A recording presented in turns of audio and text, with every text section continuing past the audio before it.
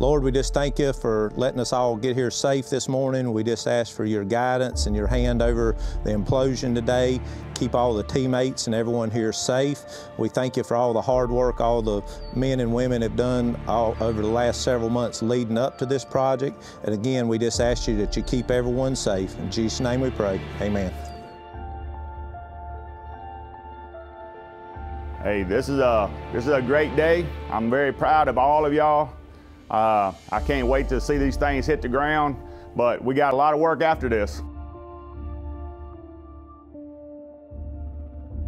All right, let's get it, guys. Let's get it.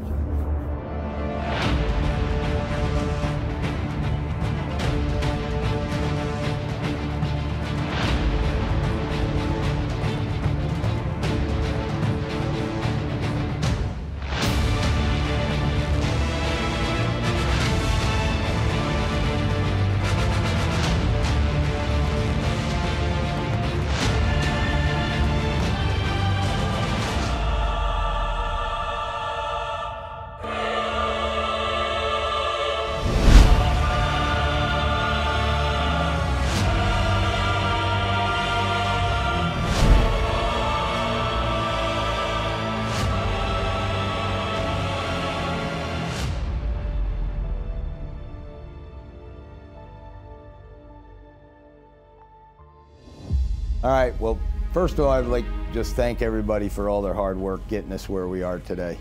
It's been a complete team effort. Um, obviously, there's still going to be a lot of work after today, but uh, today's a big day and we can uh, hopefully all enjoy it.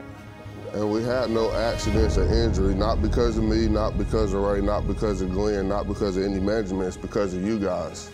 Hey, we do a lot of hard work, 100 and something days to get to where we are right now, and through some hot weather, some long days, but today is one of those days that makes it all worth it when this thing hits the ground. This morning, things happen fast. 7 a.m. will be here in a blink of an eye, I promise you.